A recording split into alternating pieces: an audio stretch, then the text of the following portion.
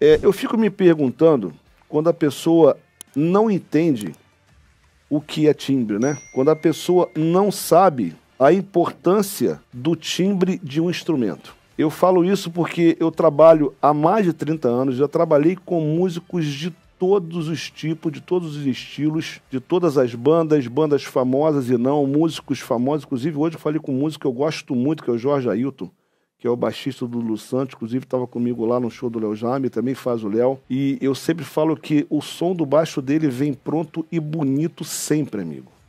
Não tenho que fazer, não tenho que mexer, é respeitar o som que vem no instrumento e pronto. Eu faço monitor. Todo mundo sabe que monitor é o técnico que mixa o fone do músico, né? O fone do cantor ou da cantora. É o que eu faço há muitos anos. Eu mixo o fone de músicos. E se tem uma coisa que eu sempre aprendi a respeitar é o, é o timbre do instrumento do músico. É aquele timbre que ele está acostumado a fazer, que ele está acostumado a programar, que ele fica horas fazendo aquele preset dele no teclado, a guitarra que ele escolheu, o tipo de violão que ele escolheu, aquele timbre peculiar, aquela coisa que ele gosta de ouvir. Então é exatamente esse som que vai para o ouvido dele. Mas isso depende de vários fatores. E é onde eu quero chegar. Mas, Agnaldo, o som do instrumento dele, lá para ele, pode ser um mas aí sai de lá, vem para a mesa, vem para o direct box primeiro, ou vem para o microfone, que já tem outra forma de captação, vem para a mesa de som e acaba chegando na frente com uma outra qualidade.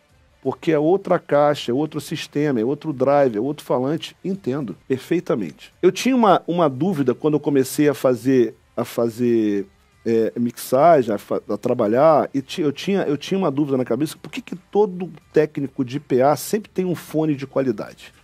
E eu sempre vi os meus amigos que trabalhavam no PA, quando começava a passar o som, fone na orelha, solando canal por canal, ouvindo canal por canal, antes de mixar e ouvir o PA.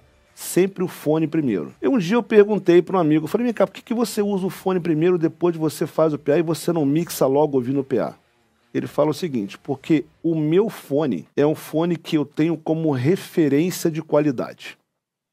Então, se chega bem no meu fone, tem que chegar bem no PA. É evidente que você não tem o mesmo som e o mesmo timbre que tem um fone de qualidade de referência. Tenho um PA diferente na frente lá, com outras caixas, com ambiência, com acústico e tudo mais. Mas a referência que eu recebo no meu fone é boa.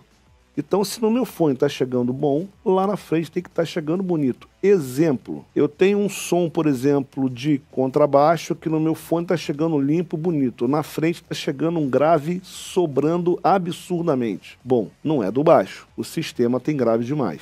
Mas aí vem aquela questão do fone do músico. Mas, Agnaldo, o seu fone é de referência, mas o músico, pô, aquele cara da minha igreja lá comprou aquele fone mais baratinho, o timbre do fone é médio demais. Bom, acabei de falar.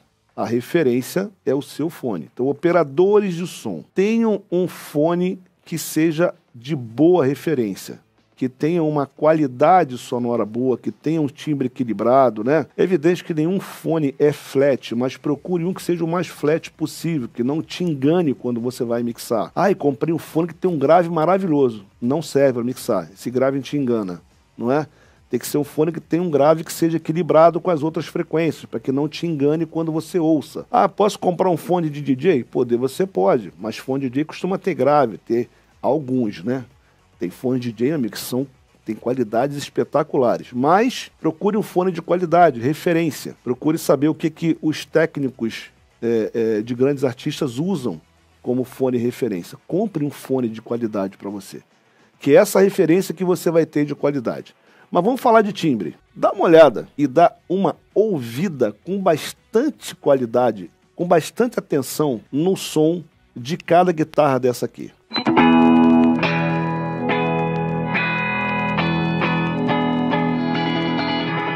Preste atenção.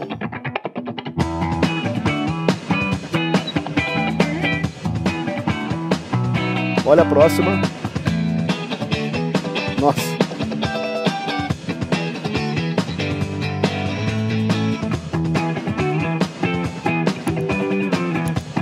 Olha como muda.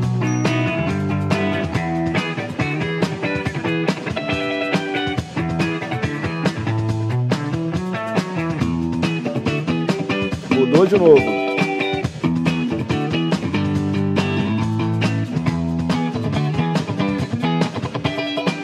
Mais gorda.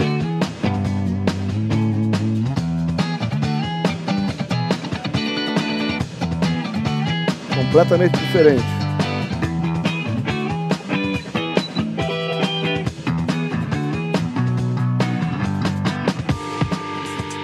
Ou seja, entendeu a diferença de uma guitarra para outra? Dá para ficar equalizando, não, né? Timbre de guitarra muda muito, né? Só porque trocou a corda, mudou o corpo, mudou a palheta ali, a pegada da guitarra já mudou. Trocou de guitarra, mudou o som. E é isso a característica de cada um. Assim como você tem o timbre de voz de cada pessoa, né? Eu sempre falo uma coisa que às vezes as pessoas não entendem, que é o seguinte. Você equaliza a voz ou você equaliza o microfone? Quem pode responder aí? Olha só, tem gente aqui equalizando a voz, hein? Vou falar o nome não, mas tem gente que equaliza a voz. Microfone, microfone, microfone, microfone, microfone. A voz é o timbre de cada pessoa. Luiz Monteiro Júnior, parabéns, meu amigo. Exatamente. Microfone, microfone. Isso é um erro que foi cometido por muito tempo quando se fala, ah, eu vou equalizar a voz. Não, você não vai equalizar a voz. A voz é a referência que você vai ter para equalizar o microfone. A voz é a referência que você tem. A voz não equaliza, amigo. A voz é o timbre de cada um. Uns cantam rouco, outros cantam mais grave, outros mais agudos, outros com a voz mais média, não é? Outros com a voz mais médio grave. Depende de cada um. E é esse timbre vocal que determina o cantor. Eu tô aqui de olho fechado. Tocou uma música do Michael Jackson. Como é que eu sei que é o Michael cantando? O timbre da voz dele. Tá tocando uma música aqui, como é que eu sei que é o Fernandinho de Campos? Aquele timbre de voz rouca do Fernandinho que não tem igual. É só ele que canta assim. Ah, mas pode ter um imitador que faz igual. Sim, mas aí é o imitador, mas o timbre da voz dele é esse, não é? E o que, que pode mudar esse timbre? O microfone que você usa. Dependendo do microfone, a qualidade desse timbre pode mudar. E qual é a nossa, realmente, a nossa grande função? É tentar extrair daquele microfone o timbre dessa voz mais real possível. É por isso que microfone caríssimo. Ah, mas por que, é diferente do microfone de 5 mil para o microfone de 100 mil, Aguinaldo? Cápsula, captação. É a qualidade como esse microfone consegue captar com mais originalidade possível a voz real, né? Ou o som real. Por isso que é tão caro, essas cápsulas de mais caro, porque a captação é perfeita o timbre de captação é perfeito, é a busca da perfeição. Por que, que os estúdios investem tanto em pré? Né? Pré, por que, que o pré tem que ser caro? Preciso um pré da Nive, quero um pré.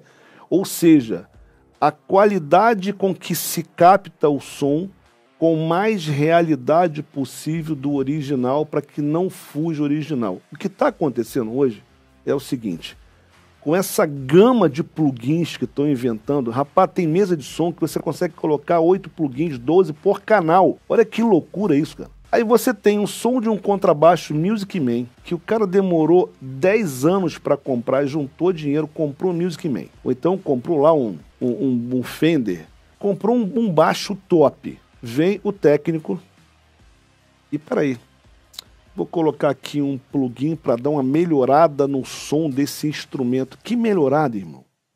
Melhorar o quê? A gente está deixando de ter o som original de qualidade para ter um som fabricado por conta de um plugin. O que eu mais vejo é plugin, tudo que é canal. Eu já ouvi, inclusive, com uma mesa digital nova, e estava começando a passar o som na bateria, o técnico falou assim, rapaz, ó, tem um plugin de caixa aí que você escolhe a caixa que você quiser para a bateria do músico. Eu falei, escolher o quê?